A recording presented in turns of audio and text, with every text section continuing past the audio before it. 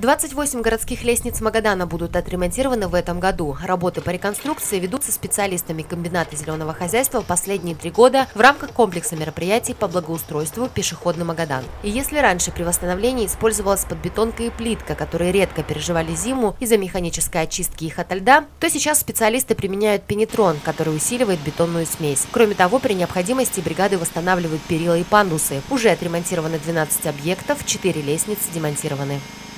В настоящий момент производим ремонт двух лестниц на э, микрорайоне Пионерный. А, здесь их большое количество. Микрорайон находится на уклоне. В прошлом году нами было отремонтировано несколько лестниц. В этом году мы продолжим.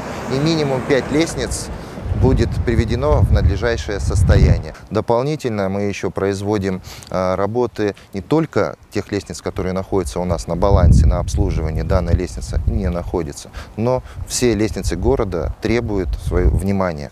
Мы получаем информацию от жителей, мы получаем информацию от управляющих компаний о тех лестницах, которые надо привести в порядок. Завершение ремонтных работ по традиции зависит от погодных условий. Между тем, немало хлопот доставляют сами горожане. Практически каждый день специалистам приходится тратить время на восстановление целостности слоя, так как ежедневно не застывшее бетонное покрытие нарушается желающими войти в историю. Слой схватывается около суток, полностью застывает в течение месяца. Зачастую на финальном этапе лестницы утрачивают первоначальный вид именно благодаря безответственности самих горожан.